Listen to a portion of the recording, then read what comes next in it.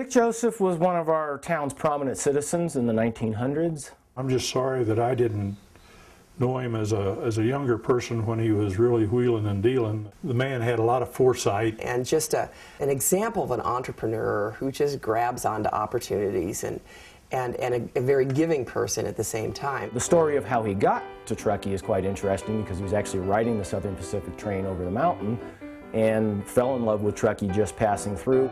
It wasn't the, quite the Wild West town that it had been in the 1800s, but it still had that flavor. Dick Joseph worked as a barber at one time, worked as a photographer. At one time he operated a bar in downtown Truckee. And then his primary business was the Gateway Motel. He was developing the, the whole Gateway area and became one of the major landowners in Truckee.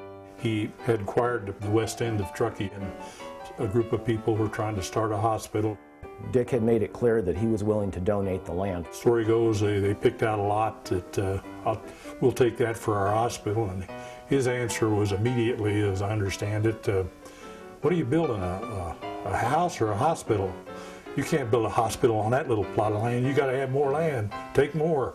The asset of that much land acreage uh, at no cost is is really significant. And so it was the type of thing that helps create the momentum to really launch an organization. He was always very interested in, in bringing this kind of help to Truckee.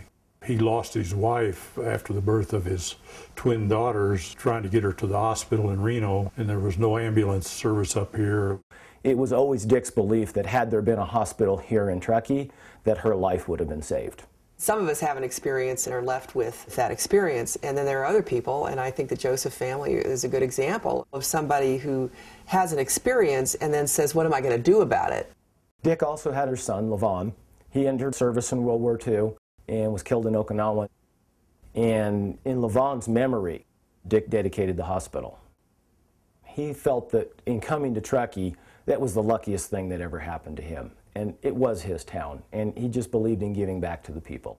I think that goes back to his early beginnings and, and the experience of his family had. Dick Joseph was a, an Armenian immigrant. Later on, he sent a younger brother back to see who he could find. The brother found their parents and two younger sisters, Roxy and Azad.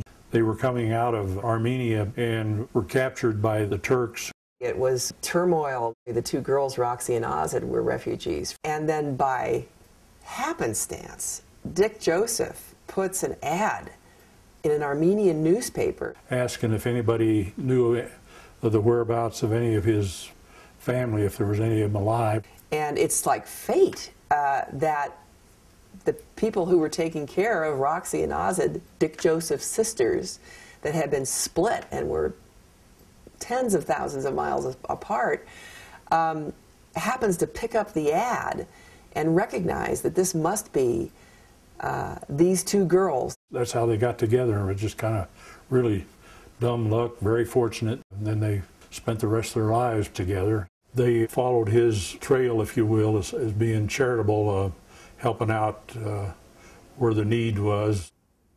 Even after Dick died, Azad and Roxy continued to donate almost every time there was a major addition needed, money was forthcoming from the Joseph family. It was always just so remarkable um, because they had a very modest uh, living arrangement, this old gateway motel, and what populated the walls were photographs of Dick Joseph going way back, old photographs of uh, Roxy and Azad together, but also right there, front and center, with all these family photographs, are these mementos of philanthropy so, as much about them was family. You just knew that when you were in this environment, you were dealing with a family who lived, breathed philanthropy and community. They were always very proud of Truckee. They always liked to do things for Truckee. This was their home and they were going to make it right. That kind of philanthropy and giving just serves as a model for the community to realize that it's about all of us giving in order to make the community a much better place.